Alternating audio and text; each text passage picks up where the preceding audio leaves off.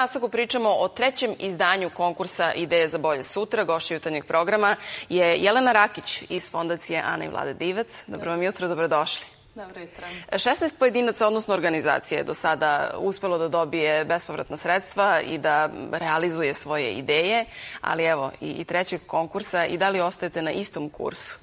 Upravo tako. Fondacija Ana i Vlade Divac, Unikredit banka, Unikredit fondacija i Smart Collective sprovode treći po redu konkurs Ideja za bolje sutra.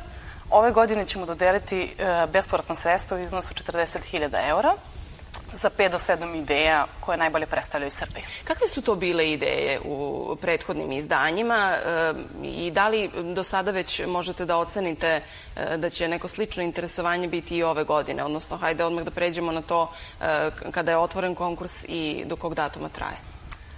Za sredstva mogu da se prijave praktično sva pravna lica koje imaju, koje posluju po principima socijalnog preduzetništva, to mogu biti male zadruge, udruženje građana, društva sa ograničenom odgovornošću, privredna gazdinstva. E, konkurs je otvoren do 7. jula. Sve informacije nalaze se na sajtu Fondacije i Ana Melad Divac, e, divac.com kroz ideje.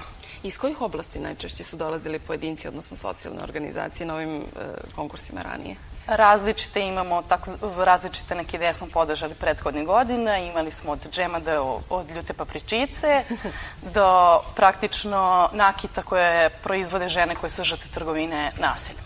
Dakle, najrazličitije oblasti e, i e, negde je suština zapravo održivi razvoj. Jeste, ono što je važno da napomenem da se ovaj projekat sprovodi u nekoliko faza, znači do 7. jula će biti otvoren konkurs, do kraja jula ćemo izabrati uži krug ideja koje će biti podržane, 15 znači, ideja sa kojima ćemo dalje razi, raditi na razvoju ideja i na kreiranju biznis planova.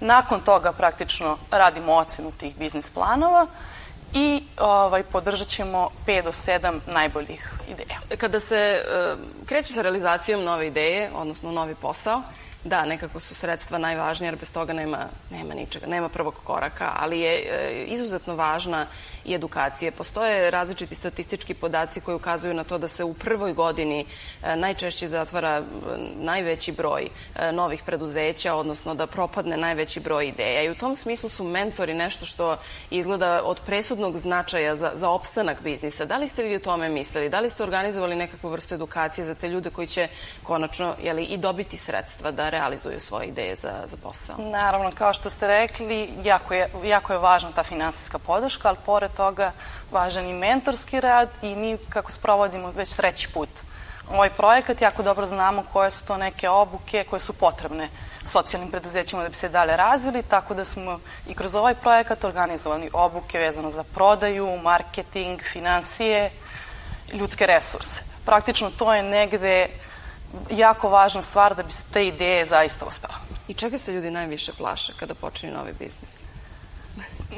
ne znam, rizik pre svega, to je onako jako vel... da uđu u stvari u celu da. priču i onda im je jako važno da neko prepozna uopšte njihovu ideju, da dobije finansijska sredstva i kao što ste rekli da negde Imalo sa njima prođe kroz ceo, da, ceo proces. Da, da se snađu na tržištu. Yes jer bez toga nema ništa.